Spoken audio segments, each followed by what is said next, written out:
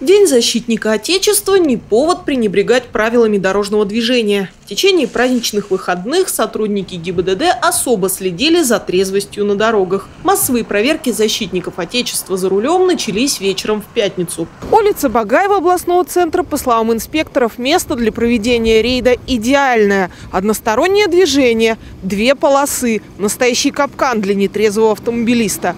Правильно выбранная локация – полдела. Дальше все зависит в прямом смысле от чутья дорожных полицейских. Останавливают практически каждую машину. Доброй ночи, Александр Дел. Так, водитель где у вас здесь, да, все? Да, да. Так, сокочку откройте чуть побольше. Понюхать надо, елки-палки. Согласен. Посмотри, понюхай.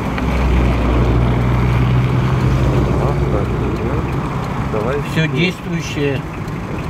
Ну, если есть, дальше тогда смотреть не будет. Все, удачи, до свидания. Вроде бы банальная проверка документов, но если водитель пьян, это реальная возможность для инспектора заподозрить неладное по блеску в глазах или попросту учуять запах горячительного. Так попался этот автомобилист. Внимание инспектора привлекло нервное поведение мужчины и амбре. Но это только подозрение. Все точки над «и» поставил алкотестер. Делаем долгий продолжительный выдох до щелчка. Пожалуйста. Вы не дуете, когда вы дуете, прибор издает звуковой сигнал. Еще, еще, еще, еще, еще, еще, еще, еще, еще, еще, еще, еще, хватит. 0, 0,70. 0, 0,70. У меня? Состояние алкогольного вашего опьянения не установлено. Допустимая норма 0,16 промилле. Вердикт беспристрастного прибора водитель выпивал. Но в допустимые значения это укладывается.